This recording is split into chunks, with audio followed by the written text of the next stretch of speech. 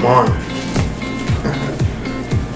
the star of the show, Luna. What's up, guys? Welcome back to Terrier Owners YouTube channel. Josh here with TerrierOwner.com. We got Luna here today too, doing a little dance for you. And today we want to make a video for you that is all about how much it is going to cost you to adopt one of these. How much does it cost, Luna? Hold up the fingers for how many hundreds of dollars. We got five, six, other hand, seven, maybe eight. No? Okay. All right, guys, like I was saying here just a second ago, today's video is going to be all about how much it is going to cost you out of pocket, depending on where you live, of course, and the situation as a big picture to adopt a Jack Russell Terrier. So stick around for just a second, and we'll be right back with that for you.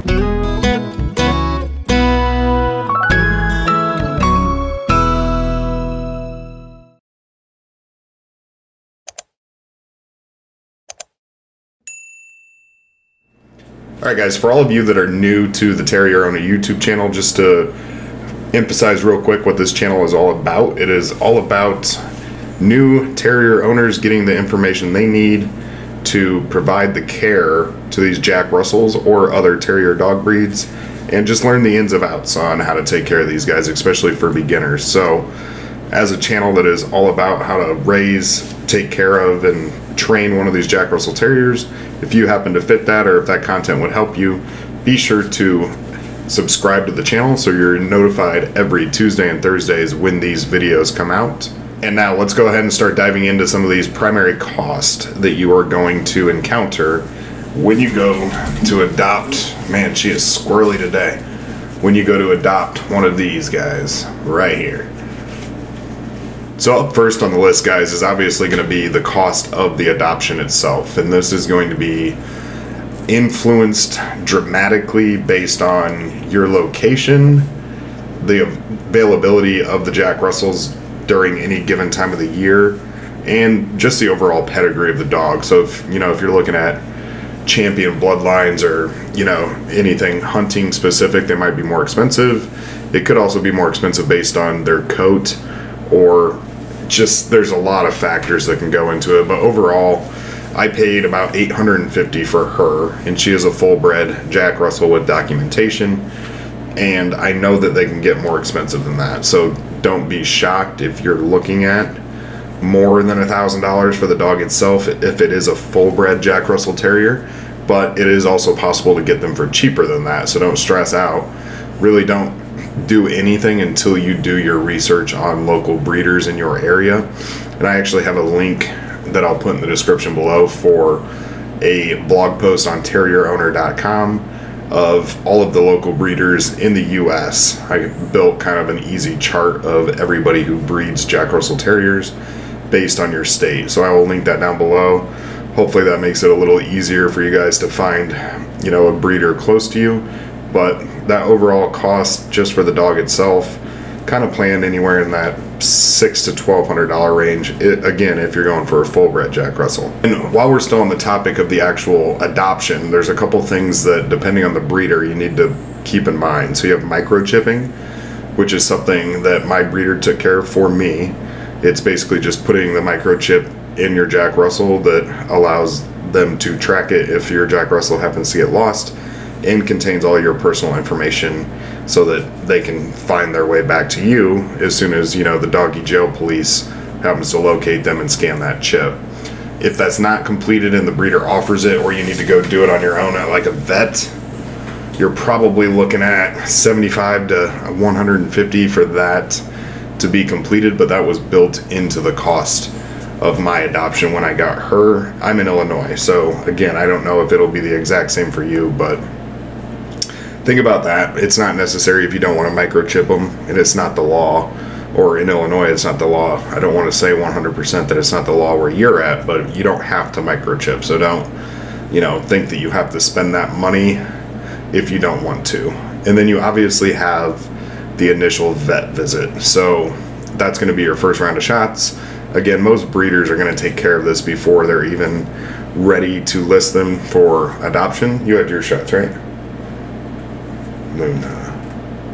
But that's going to be another cost for you if it's not included or wasn't taken care of by the breeder. So it's hard to say because every vet office is going to be different when it comes to that. But I would plan another hundred, couple hundred bucks for that initial vet visit just in case. So you're somewhere in the range of about a thousand to fifteen hundred, and now you have at least the Jack Russell ready to bring home at that point. But that's where a lot of people don't plan ahead when it comes to the cost of these guys because there are definitely some things that you need to get these little guys ideally before you get home or shortly after you've adopted them. What's wrong with you today, huh? You shy? You don't want to look at the camera? Oh no, you're fine. Which leads me into the number one thing I would get. Number one, you still need this because you can be the devil sometimes. Is a crate. This is going to be huge for crate training, which is going to help with potty training. You need somewhere to put them that is safe when you're not home. You need somewhere to put them if you just need a break from having them out and about. So make sure that that is factored into your initial budget. A crate's going to run you anywhere from like 30 to 70 bucks on Amazon, and I will also link in the description below my recommendation for the best crates for these guys. I think mine was like 40 bucks. It wasn't anything crazy. Still using the same crate I've been using for a couple years. Nothing overly dramatic in that category, but still something I would plan ahead and make sure that you have at home ready to go. It's going to make the potty training so much easier. It's going to control how often they can destruct things in the house when you're not home or when you leave them alone. It's just a good idea, isn't it, Luna? Say yes. And then, of course, you have what she has clearly chewed to pieces already. These dogs chew, so plan on buying some of that chew deterrent too. But you need the initial leash, collar, harness. I mean, even I even had a muzzle.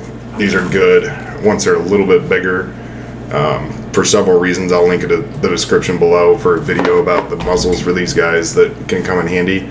But that's another, you know, 30 to 50 bucks I would have ready to go just to get them a collar with a name tag on it, the leash for walking, and a harness to make it so they can't pull when you're walking them, which is going to make it way better for training them not to pull. It's just going to be a better experience if you use one of the body harnesses on them. So another cost to factor in, another probably 50 bucks to put you know, towards that initial adoption and the initial items that you need for one of these guys. And then due to how much she chews, or these guys chew in general, will you just look at the camera for two seconds? You also want to make sure you have a decent little collection of chew toys ready to go for these guys. They are chewers. She's still kind of a chewer, um, depending on the items, but you're going to want those initial items um, good chew toys, rope toys that they can't ingest. Rubber toys tend to do the best if they're not destructible, but you will want, you know, a little bit of a basket full of those. So probably another 20 $30 just on making sure that they have items to chew, which is extremely important in the beginning for from a training standpoint because you don't just want to be yelling at them every time they chew up a shoe. You also want to be replacing these negative behaviors with the desired behavior. So getting the toys, having them ready for them is a good idea in general, just to make sure that you're giving them the right state of mind on what is okay and not okay to chew. Plus, it's just good mental stimulation for them, and these guys need some toys. So, plan on having some of those ready, bake that into your cost so that you're more prepared for that adoption day. Then, on top of that, guys, you're gonna need some, you know, just basic training treats um, these come in handy obviously because they're tiny and they make the ability to give them multiple treats. Clearly, that's what she's been waiting for this whole time to give them multiple treats um, without their bellies getting upset when you're training them. So that can be for potty training, teaching them to sit, teaching them to lay down. She, she wants some more of those. Good girl. Now will you say hi to the camera? No, I didn't think you would. Say hi. But you're gonna want to have some treats on hand, some dog bones on hand. You know, some of those kind of basic things that you need for divvying out rewards to these guys, especially when they're young and you're trying to mold them and teach them the desired behaviors. So plan on that being a cost, and that kind of leads me right into the fact that you're also going to need the dog food, obviously, and the dog bowl and the water bowl. That kind of covers all of the essentials, unless you want to throw like a dog bed in there. But really, when you bake all of these costs together on adopting one of these guys, plus the initial adoption cost, you're looking at, you know, if I had to give a rough estimate, probably about a thousand to fifteen hundred, depending on what items you buy, you know, how economical you decide to be, and how many of each item. You know, if you're just going to get a couple toys, cool, not a big deal.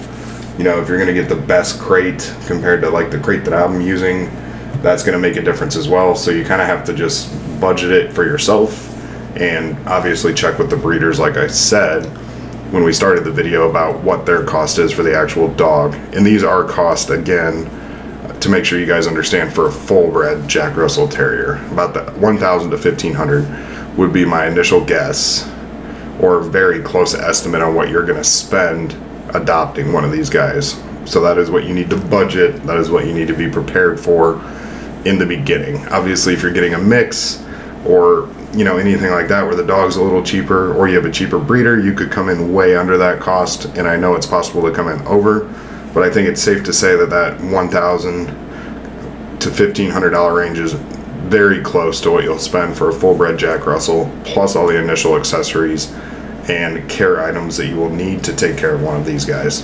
All right, guys, I had to set Luna down for a second just to give myself a chance to focus and wrap this video up for you guys. To recap, we touched on a bunch of items you would need like that, the muzzle, leash, harness, dog crates, dog beds, food, etc. Links will be down in the description below. And something I noticed while making this video that might make a few of you curious is that cage behind me, that is for a chinchilla. In case you were wondering, I actually saw her dart into the frame um, in the very beginning of the video, so I didn't know if somebody would be like, what was that back there? That is what that is. So, yes, there's another animal in the household. Luna and her are best friends, not really.